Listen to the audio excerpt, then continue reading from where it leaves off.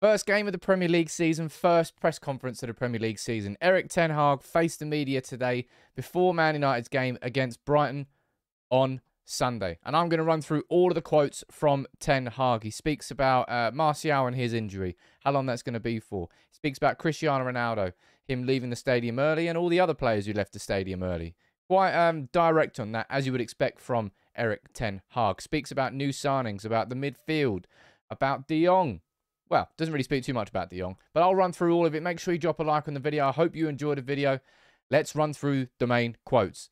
And obviously, the first and foremost bit of news is that Anthony Martial is going to be missing the game with injury. Erik Ten Hag here said that it's always difficult to say, and I hope he's not out for too long. I think we will have situations to sort it out. Now, I ran, I ran through my predicted 11 for the game uh, in a video that got released at lunchtime today. I've gone for Bruno in a false nine with Eriksen just behind him. By the way, Eriksen, who's fit to start, and a certain Butcher is fit to start as well. I'll run through that in a little bit. But I don't personally feel that Elanga is the right solution to play inside that role. And that, again, that's that's more of a personal preference than anything. But Elanga's not showing enough in the preseason tour.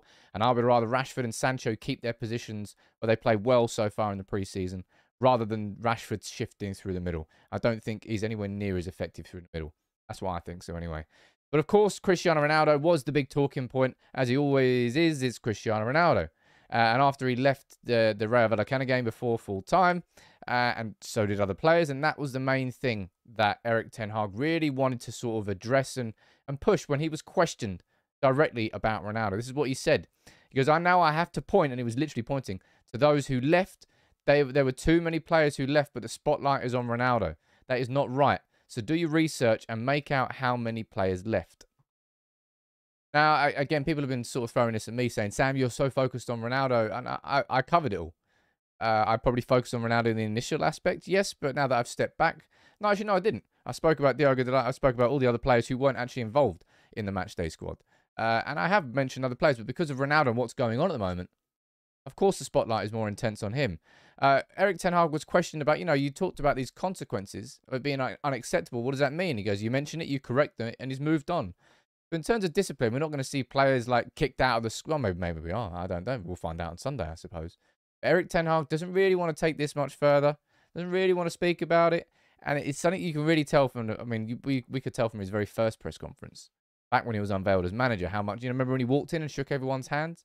He's taken control of these press conferences, and because of the nature of his personality, very forthwith, very direct to the point, no pussyfooting around the topics, and he basically won't take any bullshit from the press. He's good you need that. Uh, you definitely need that. Absolutely. He was further questioned on Cristiano Ronaldo. Of course he was. He said, I'm really happy. We have a top striker. He is here and is in the squad.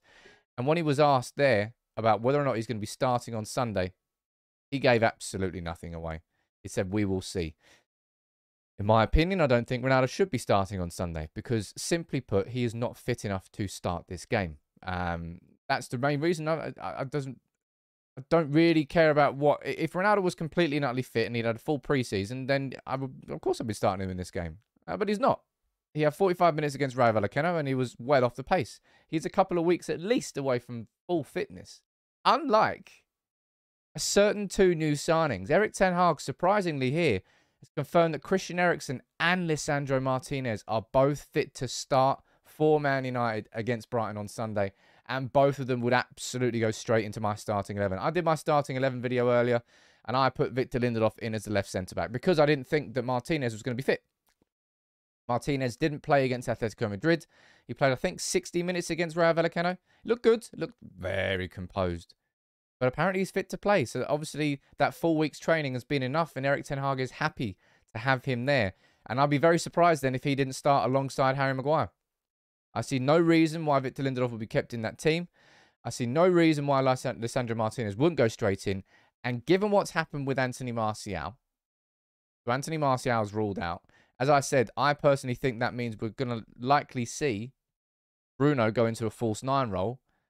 And if Lisandro Martinez is fit to start, then you got him alongside Harry Maguire. That's really good news. That's great news.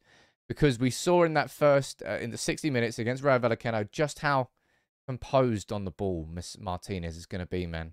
And I think him alongside Malacia on that left-hand side is going to really transform our build-up play ability coming out from the back with the ball. It really, it's been such an Achilles heel of Manchester United for so many years. We've just not been good enough at bringing the ball from the goalkeeper through the defence and building up attacks that way. We've been a transitional team, getting it to the front as quickly as possible, using pace in behind, counter-attacking. Lisandro Martinez changes that ability to play out from the back with the ball. I also think he'll probably make Harry Maguire a slightly better defender as well. Just uh, there is no negative, there is no negativity, uh, no bad side to Martinez coming into that team. And I think if he's fit to start, I'd be surprised if uh, Erik Ten Hag didn't start him now. My, I've changed my back five that I decided earlier. I put Martinez there alongside Maguire with Malacia and Dalot as the back as the fullbacks. Yes, please. Moving on to the next point here, and of course, it's about signings. We need more signings. Of course we do. And Erik Ten Hag was asked about this in terms of having more signings for the opening day of the season. It'll be a good situation, but I'm happy with the current squad. We make good progress. I'm happy with the signings until now. You don't need any player. You need the right player. And that is what we're working for. And he's reiterated that on multiple occasions now. Erik Ten Hag clearly, again, you might not like it, but he's obviously prepared to forego signing a midfielder if it's not Frenkie de Jong. Which scares me, really does scare me, uh, because that means we're going to be seeing a lot more Freddie McTominay this year. But we're just, it's obvious that our midfield is not good enough. But he would rather, I suppose, cope with the short-term deficiencies, and, and he's he's backing himself because he said he's got. We do have a good squad, and the signings have been good, but far more is needed. Absolutely, I just don't think that we've got enough in-house in terms of midfield. And he was pressed further on the Frenkie de Jong situation. He said, "We want Frenkie, do we?" Uh, I didn't know. it's about the right players, but I can't speak about players under contract at another club. When there is news, you will know. Uh, it's a standard line for any manager, really, when they're questioned about players who aren't signed. And I just hope this Frenkie de Jong situation ends with Frenkie de Jong joining. As James Robson points out, he's saying that Ten Hag's insists here that the, at the end of the window without any further signings, he insists he will end the window without any further signings if he can't get the right target. And it's an implication that De Jong is the midfielder. He's plan A, he's plan B, and he's plan C. And we've spoken about that before in United People's TV. And again, you might not like it, lump it, but exactly what Erik Ten Hag wants to do. And he was asked here about whether he's happy with the current midfield options at Manchester United. He said, I think so. As we saw in pre-season, we did pretty well there. We have a good team, but we can still strengthen the squad.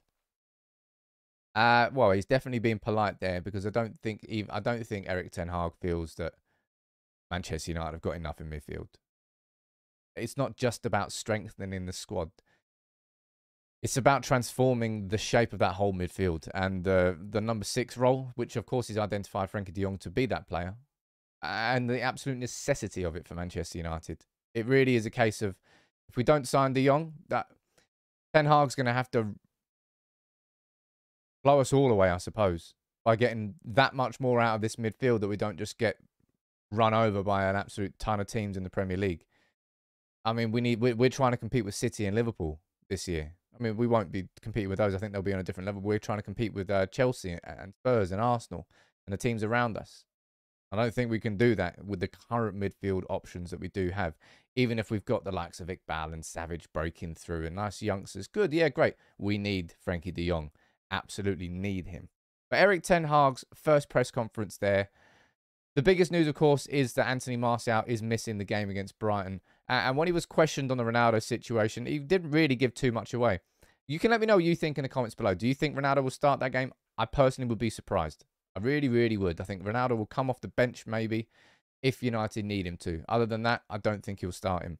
Uh, he was questioned further about the you know the concept of all these being unacceptable and how is he going to discipline the players and that's what he said there uh, he's happy with ronaldo in the squad but he won't say anything about him starting on sunday um that that for me that's the biggest news that's the best news eriksen and martinez both fit to start i didn't think that martinez would be fit if he is fit get him straight in that team man absolutely straight in that team ten hag would rather have all the new signings in but they're not in just yet he wants Frenkie, and it's either Frenkie or it's nobody and in terms of him praising the midfield. Yeah, Fred's good. McTominay's good. We need more. He knows we need more. He knows we need new signings. United have got to get it done. But that's the first press conference covered in full. And look at that, all that in 10 minutes for you. That's efficiency. Make sure you drop a like on the video and subscribe to United People's TV. But take it easy, everyone. Speak to you soon.